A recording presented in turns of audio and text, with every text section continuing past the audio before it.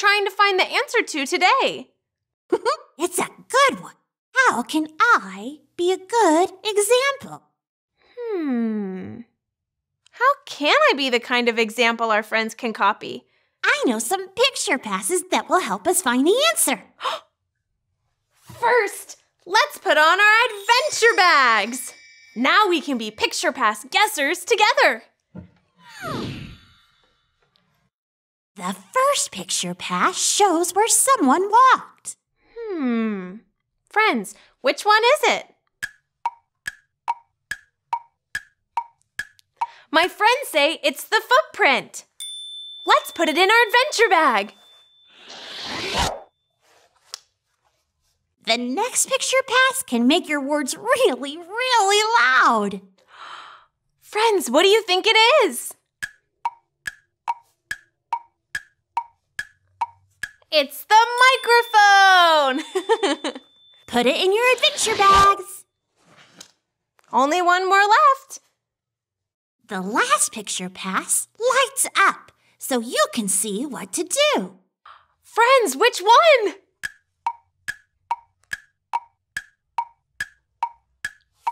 The flashlight! Friends, put that flashlight into your adventure bags.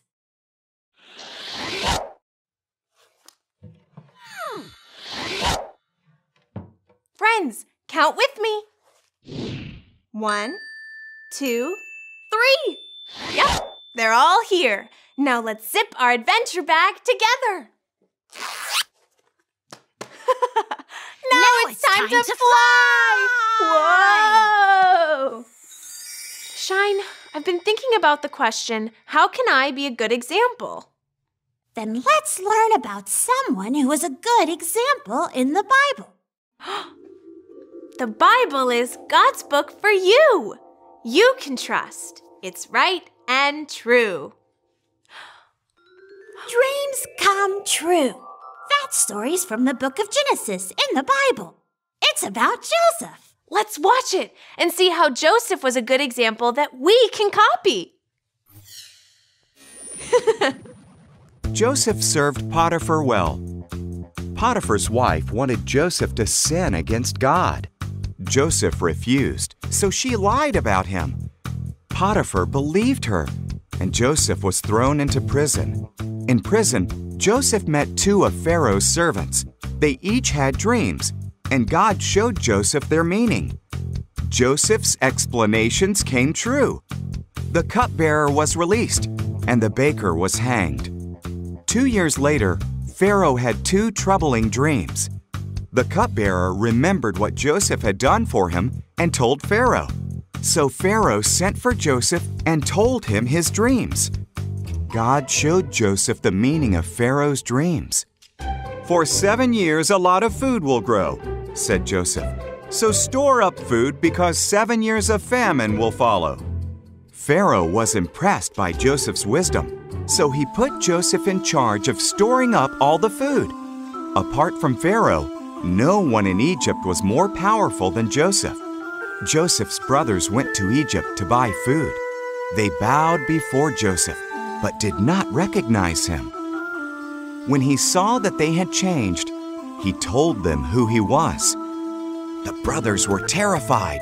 You meant to harm me, Joseph said, but God used that for good.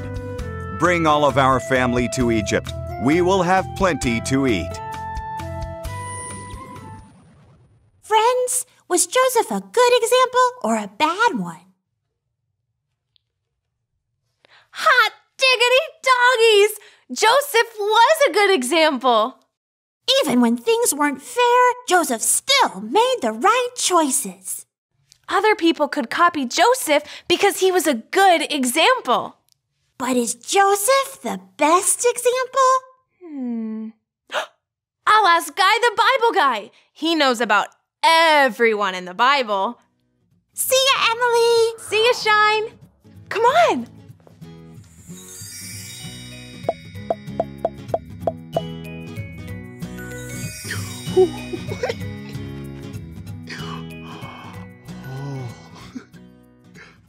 Hi, Emily.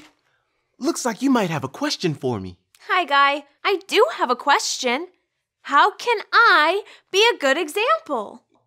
You can be a good example by following the best example. Best example? I just watched a story about Joseph. Is it him?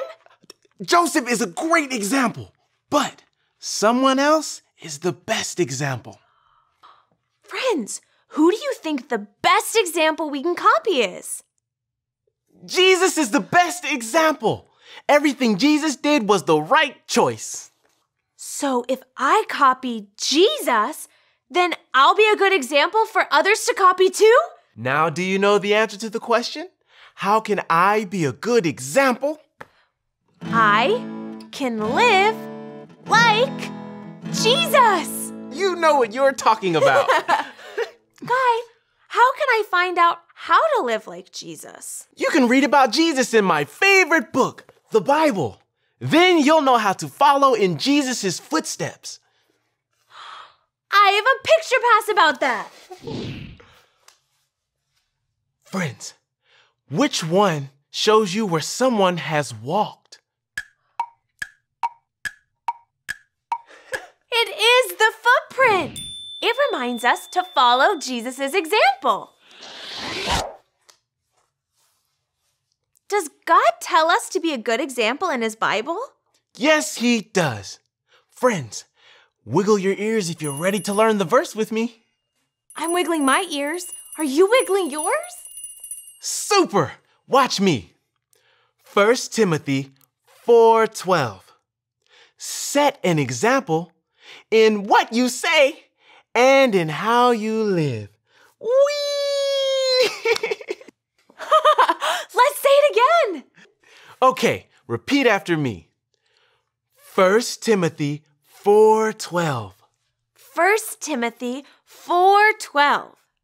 Set an example Set an example in what you say in what you say and in how you live. Whee! and in how you live. Whee!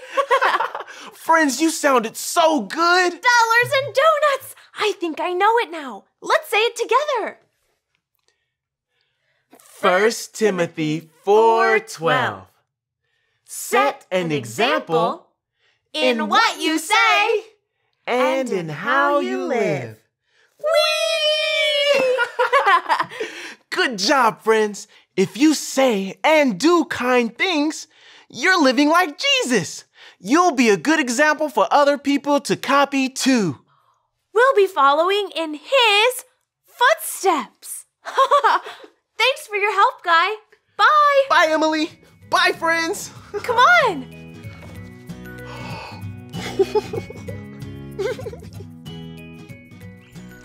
Hey, Blinky, watch this. Zinnia! That's a super duper wrong choice. Mr. Stone says crayons are only for paper. So, I don't see him anywhere. Besides, I'm the boss of myself.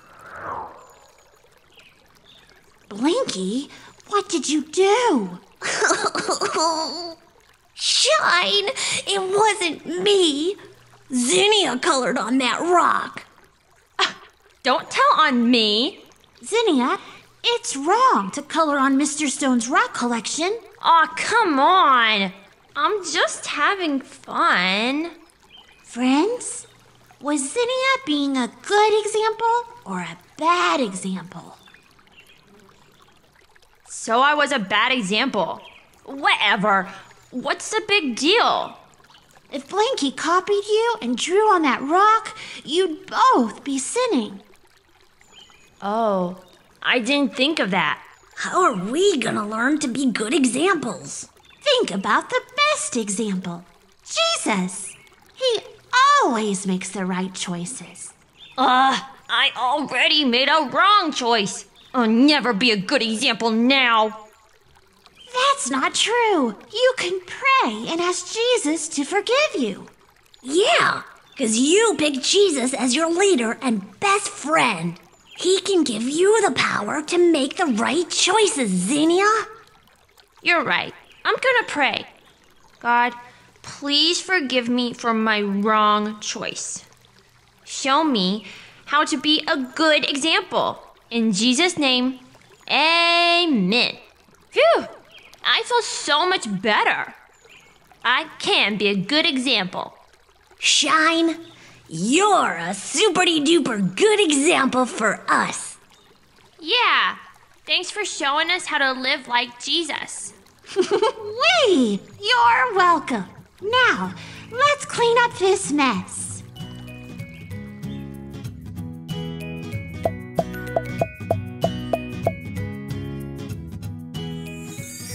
Friends, remember Joseph? He acted the way the Bible verse says. 1 Timothy 4:12. Set an example in what you say and in how you live. Whee! the footprint shows that Joseph followed God's way, just like Jesus. And Jesus was the best example. Let's live like Jesus! I can hear Mr. Music! Let's go!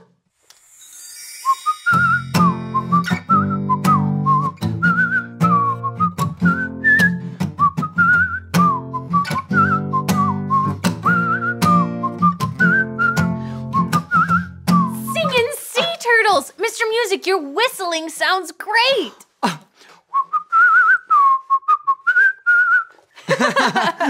Thank you, Emily. Your kind words show you're a good example. Kind words? Oh, I think I have a picture pass about words. Friends, which picture pass can make your words really, really loud? It's the microphone! I use a microphone so that people can hear my songs better. hey, we could use the microphone to say some kind words.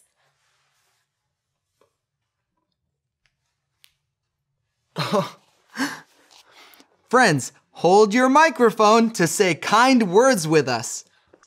I'm holding mine. Are you holding yours? Repeat after me.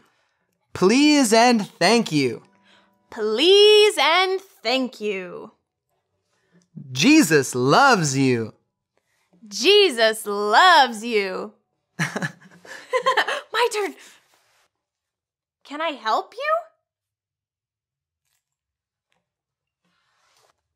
You're welcome. Great. You know, those kind words remind me of a song. Friends, clap your hands together if you'd like to sing it with me. I'm clapping my hands. Are you clapping yours? Okay, here we go. I'm gonna teach you the part that we sing together first. Okay.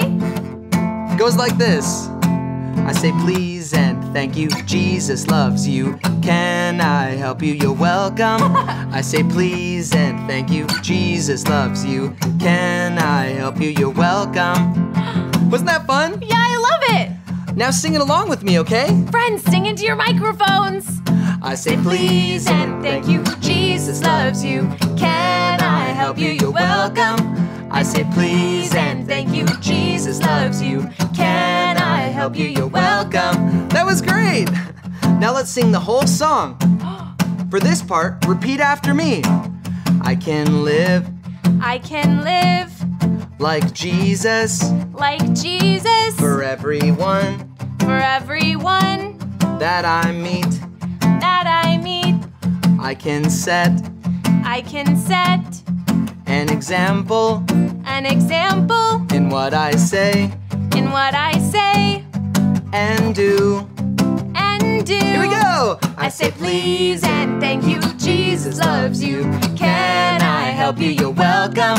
I I say please and thank you. Jesus loves you. Can I help you? You're welcome. I can live I can live like Jesus like Jesus for everyone for everyone that I meet. that I meet. I can set I can set an example an example in what I say in what I say and do. and do. I say please and thank you. Jesus loves you. Can I help you? You're welcome. I say please and thank you. Jesus loves you. Can I help you? You're welcome. Do do do do do do do do do do do do do do do. Do do do do do do do do do do. That was great. Now, stand to your feet to worship God with singing, music, and dancing. Hallelujah, hallelujah,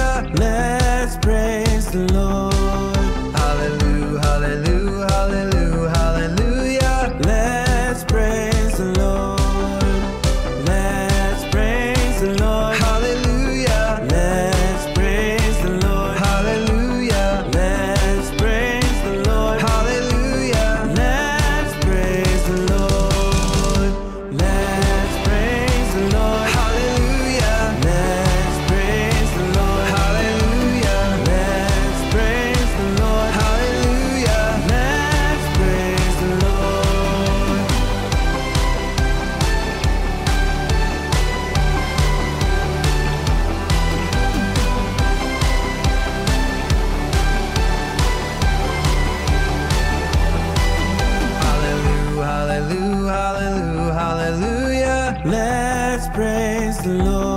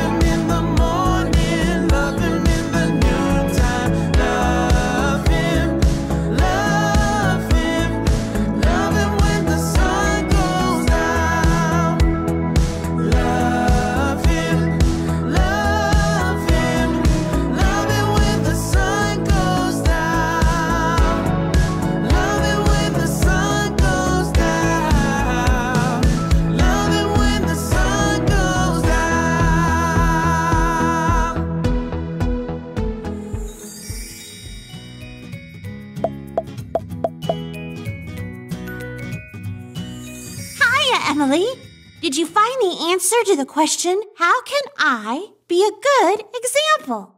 Yep. Answer with me, friends. I can live like Jesus. Wait! Jesus is the best example. Whoa, whistling woodchucks! These picture passes want out of my bag! Whew. Friends, say them with me. A footprint, a microphone, and a flashlight. What did you learn about the footprint? The footprint reminds us to follow in Jesus' footsteps. That means we can make the right choice like he did. We can do things his way. What about the microphone? The microphone reminds us to say kind words to others so others can copy our words and live like Jesus. But we still don't know what the flashlight means. Hmm. A flashlight lights up the room so you can see what to do. Well, what does that have to do with being a good example? When your friends don't know what to do, it's like they're in the dark and can't see what's right. Oh, that's when they need a good example like you shine. You shine bright for all your friends. You always show them what's right. Thanks, Emily. I love living like Jesus because God asks us to in his Bible. That's right. 1 Timothy 4:12. Set an example in what you say and in how you live. Whee! Okay, friends. Bow your heads and close your eyes. We're going to talk to God together. Dear God, please help us to live like Jesus and be a good example. We want to show others how to live like you. In Jesus' name, amen. Amen. Roaring race cars! It's time to go. We'll see you next time. For another Bible adventure. Bye bye, friends.